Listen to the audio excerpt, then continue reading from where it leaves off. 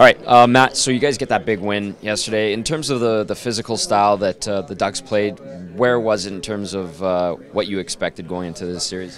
Uh, you expect it, uh, regardless of what team you're playing. Um, San Jose brought the forecheck hard. These guys have a bit more of a of a hitting mentality. Um, so for us, it's just kind of quick puck movement and uh, getting up to our forwards and kind of making five to ten foot sport passes, and, and that, that helps you when, when they come aggressively. On the back end, uh, do these guys try to make the D hear footsteps more so than the Sharks did? Is that fair to say, or are they any different in the way they forecheck you guys?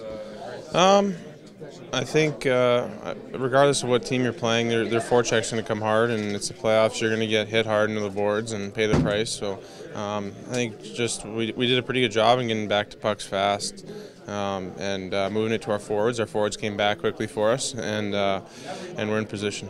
Does this team surprise itself anymore? I mean, from a fan's point of view, on on the outside, sometimes people are surprised by what you guys are capable of doing. But within the group, do you even surprise each other anymore? Um, yes and no. I mean, game to game, there's new heroes, um, and I mean, you kind of expect that out of a different person or a different group every time you step on the ice. But so far in this in this playoff series, there's been kind of different heroes game to game, and that's a sign of a good team. How are they going to come at you guys tomorrow in your anticipation?